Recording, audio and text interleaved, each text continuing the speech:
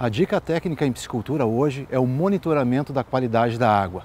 É com um equipamento bastante simples que o produtor pode fazer isso. A partir de dois equipamentos nós definimos inúmeros manejos. O primeiro que eu vou fazer uso é o termômetro, para medir a temperatura da água.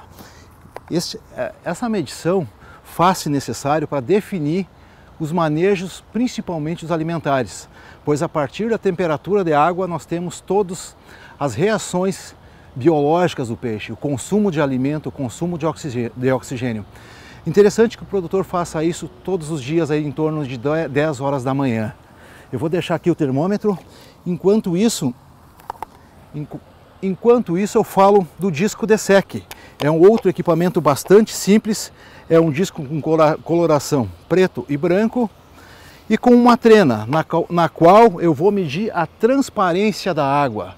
A partir da transparência da água, eu vou avaliar se há necessidade de adubação ou não desta água. Também atividade que deve ser feita duas a três vezes por semana pelo piscicultor, para que ele tenha sucesso. Abordar esses temas é importante porque a partir daqui nós vamos definir a alimentação natural que o viveiro fornece aos peixes. E aí vamos ver a compra necessária de insumos externos ao viveiro, de resíduos da propriedade ou mesmo de compra nas casas pecuárias.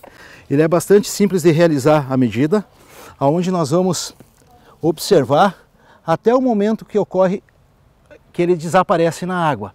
Aí eu vou fazer a leitura nesta trena. Aqui no caso ocorreu 30 centímetros. É o ideal, que ela esteja em torno de 30 a 60 centímetros de transparência da água. Agora eu vou observar a temperatura dessa água. A temperatura da água está em 27 graus. Isso me diz o quê? Me diz que o peixe está em plena atividade biológica.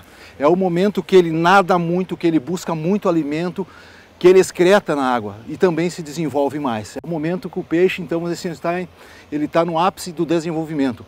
Acima de 28 graus, a gente começaria a diminuir a alimentação.